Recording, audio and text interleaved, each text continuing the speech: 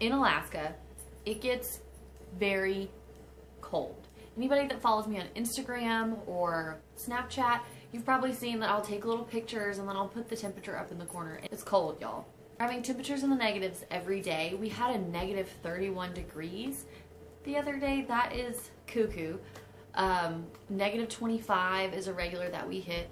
Today, the high is negative 13 and the low is negative 20 and it's a little bit cloudy. It's not super bright out today, uh, but it is the time of day where the sun is out, which is great. That's how I have all this beautiful natural light helping um, light the video today. What the heck do you wear when it is negative 20, negative 25, negative 30 degrees outside? What do you wear? Because before I moved here, I had no idea. I had to do tons of research. I had to do a lot of asking around to people that had lived here, people that currently lived here. We have a spouse page.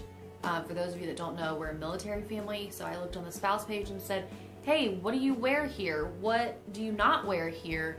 What did everyone tell you to get but wasn't actually helpful? And so I wanted to make a video about that because It'll be a great resource to give to other spouses that may be moving or their family may be moving to Alaska, but also it'll be nice for anyone that's moving to a place with super cold temperatures and they don't know how to dress, or if you're just visiting.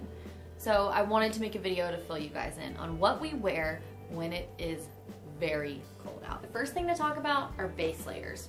Base layers, or as I've always heard them referred to in Georgia, long johns. So up here they're called base layers in like athletic stores and outdoor stores, they call them base layers. I've always heard them referred to as long johns. Um, base layers are super important. So when it is in the negatives, you need something a little extra underneath your clothing. You want base layers that are made of merino wool or some sort of polyester blend or even fleece. You do not want base layers made of cotton. Reason being, if you're wearing base layers, you go inside, you still have your base layers on, you sweat, and then you go outside, that sweat's gonna freeze and that can cause a lot of discomfort. So cotton's not great because it'll hold on to that sweat, whereas everything else is a little more wicking. So you want something that is moisture wicking. So these purple leggings are what I think of when I think of long johns. They're cotton poly blend by a company called Old Mill they keep me pretty warm. I wouldn't wear these when it was super cold outside, but I like to pull them down over my feet like this and put my socks on over them to stay warm when it's not super cold out. So this is a fleece pair. These are by a company called Climate Right, which is made by Cuddl Duds, and they are polyester and spandex, and you can see they're kind of a fleecy material. Base layers aren't very cute because they're, they're made to be under things. So they're not gonna be like super cutie. Another thing I do if all of my base layers are being washed at the time, sometimes I'll wear my LuLaRoe leggings as base layers because they're not cotton. This is a base layer top from REI. This is 100% silk. Silk is better for helping you regulate temperature. Um, so this is one that I wear a lot. This is also good if you're, I know I'm gonna wear a v-neck or a cowl neck because I know this won't show. Whereas a lot of base layers come, come up kind of high. Like the base layer shirt that I have on right now is just this crew neck. So it's nice to have a v-neck option as well. This one is Cuddl Duds. It's a little bit more athletic of a, it has a more of an athletic look to it.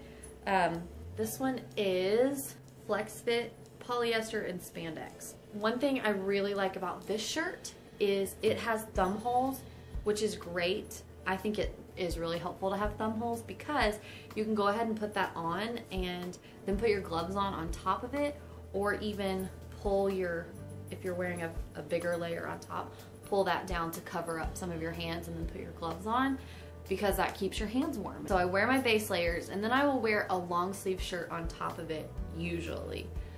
Like I said, if I'm wearing a v-neck, then I'll put on my v-neck base layer. If I'm wearing a crew neck, I'll put that on. Or a lot of times what I'll do is instead of wearing a long sleeve shirt, I'll wear a sweatshirt like I have on today. Or if I'm wearing a regular long sleeve shirt, I'll put a sweater on on top of that.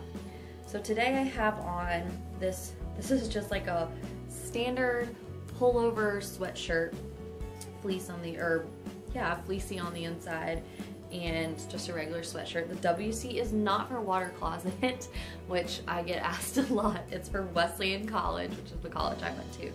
These are great because they're big and baggy and comfy and they're also very warm. And then on top of my base layer and then a long sleeve shirt or a sweatshirt, on top of that, I will usually wear a jacket. I prefer down jackets. I just think that they're warmer um, and they help insulate a little better. However, they are a little bit pricey. So it's one of those things that maybe rather than buying several jackets at a, a, reduced price or a sale price or a low quality, maybe just get one good down jacket to keep you really warm in the winter. They don't have to be these huge puffy jackets. I do have one like that. They don't have to be these huge puffy jackets. A lot of down jackets you can get really uh, cl cut close to your body and very thin. So I'm gonna show you some of the down jackets I have. Okay, so we've moved to the Arctic entryway and it's a little bit, uh, the lighting is a little different in here. It's very dark outside. So this is a cheaper jacket. This is actually St. John's Bay. Um, and this is a large, and you can tell I've had a lot. This is one I had when I lived in Wichita as well, because there's lots of makeup on the collar. Um, but this is just, it's not real down, it's just a puffy coat. Um, it does have a hood, which I think is helpful, but it also zips off. I like to wear the ear protection, which I'll talk about in a little bit, and then pull my hood over the top just for a little extra warmth to hold in that heat. So this is one that I wear a lot, and it's purple, which is one of my favorites. Probably my favorite jacket that I own and one that I get a lot of wear out of is my black Nano Puff by Patagonia. I like Patagonia because if something happens to your jacket, if it gets ripped, if something happens that is not part of just normal wear and tear, you can send it back to them and they'll repair it for you or send you another jacket.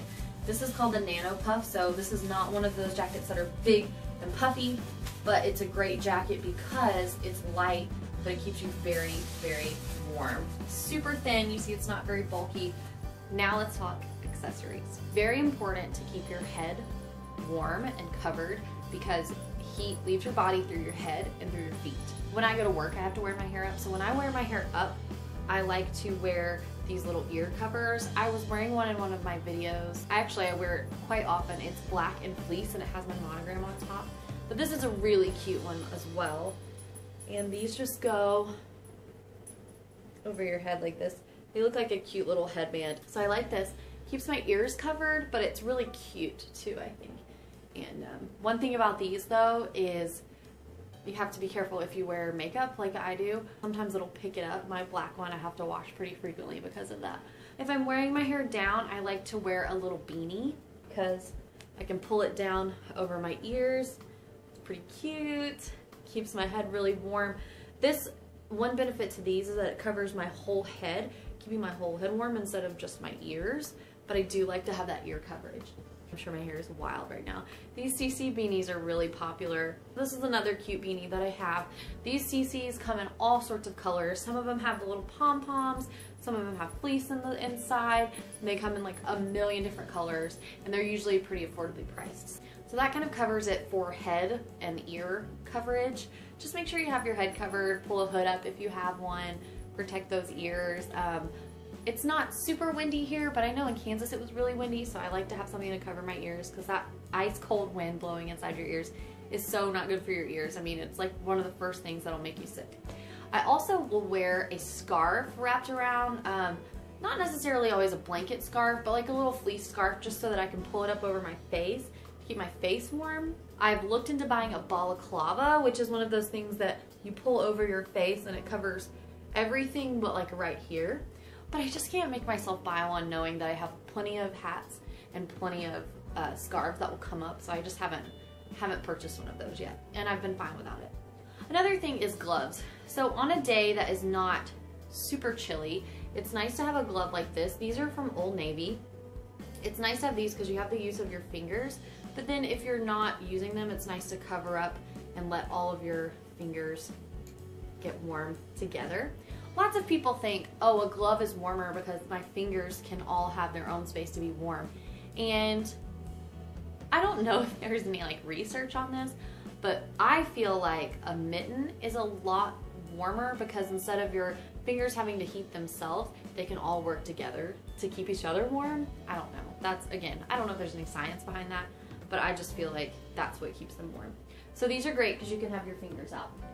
Um, on a day that's kind of moderately cold, I have these isotoners that I've got a few years back when I was living in Wichita. These are gray, they have a fleecy inside, and they have the technology touch fingers.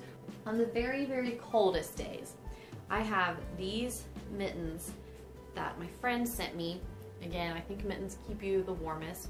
These are really fun on the outside and they're fleece on the inside. All right, so we've got, so far, base layers, shirt over it or sweater over it, then sweatshirt, puffy jacket, accessories. So now let's talk about your feet. Socks are gonna be the same as the base layers. You don't wanna wear cotton socks on your skin. And you don't wanna wear, um, you don't wanna wear flimsy like athletic socks. You want to wear wool socks. If you can find merino wool, that's great. If you can find, um, a lot of times hunting socks are a good thing to buy they're not like the super cutest, but if you can go get hunting socks, those are made for cold weather to keep feet warm.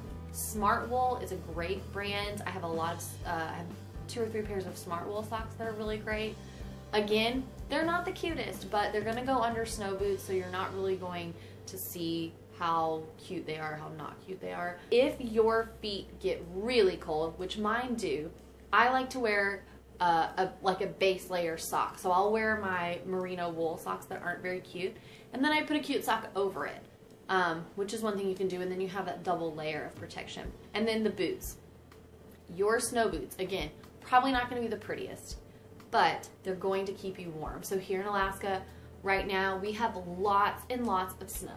So when you have ice and when you have snow, you want waterproof boots waterproof. Not water resistant, waterproof. And you want the whole boot to be waterproof. So here are some of the boots that I have that I wear on a regular basis. When it's not super cold out, I like to wear a, just a, like a small, um, I think Sperry makes a boot like this, or LL Bean, like a duck boot, I guess is what you would call it. Uh, this is waterproof, and then this is just uh, fleecy fabric. These are great, and then you can wear some cute little black socks that peek out from it. Um, so these are good when it's moderately cold. When it is very cold, I wear these North Face boots. These are boots that my mother-in-law sent me and they are amazing. So they're waterproof all over. They're fuzzy right here and it's, I love boots that have this because sometimes when you're trying to shove your foot in there, it's really hard to get your foot in your boot. So I like having a little hook where I can pull them on really fast. Um, and then on the inside, it's really poofy and that helps to keep your foot warm as well. Um, and it has the toe pick. And North Face is a great brand.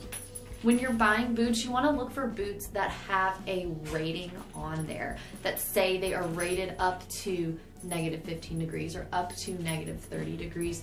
And that's something to pay attention to. It's not one of those just silly things they put on there. With weather like Alaska weather, you're gonna have to have that. When it is stupid cold outside, like negative 30, and there's a lot of snow, these are what I like to wear. These are my Sorel boots. They make all sorts of different kinds. Um, they make these big tall ones and then they make shorter ones.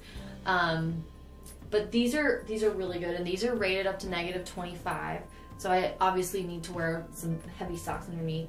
Um, these boots are cute. They look pretty. I like the fur and everything and they make some fun designs. However, one thing I will tell you is these are like the bat Hercules. These boots are like the bad boys. Like these are what I whip out when it is so stupid cold. Because of that, they're they're heavy duty. Like it's hard for me to drive in these sometimes. They're very hard for me to get on. These are not boots that I would wear just for the heck of it. Like these are boots that I wear because it's super, super cold outside and I know I'm gonna be outside for longer than just going to my car. Like if I'm going to maybe shovel snow in the backyard. This, this is what I'm gonna wear. I'm, not wearing these just for fun, I guess is what I'm saying. These are the boots I wear the most often. Um, they're just, they're the most comfortable. They're easiest to get on and off. My Sorel boots do have uh, the pull-up straps, but on these, they snap and come off. So there is a little layer on the inside. It has a little insert with the fur. If you went over to someone's house and you were wearing these boots, you could slip this part out and probably wear this just fine around someone's house and um, keep these at the doorway. So that is how I stay warm in this Arctic tundra that we live in here in Alaska. I'm gonna try to do more like this during the week in between our vlogs. If you enjoyed this video and would like to see more videos like this in the future, just leave me some feedback down below in the comments section or give it a thumbs up. And I hope this was helpful for anyone that's moving to Alaska or people that are just curious what we wear here when it is super duper cold. So thanks for watching. Check out some of our other videos and I'll see you guys later.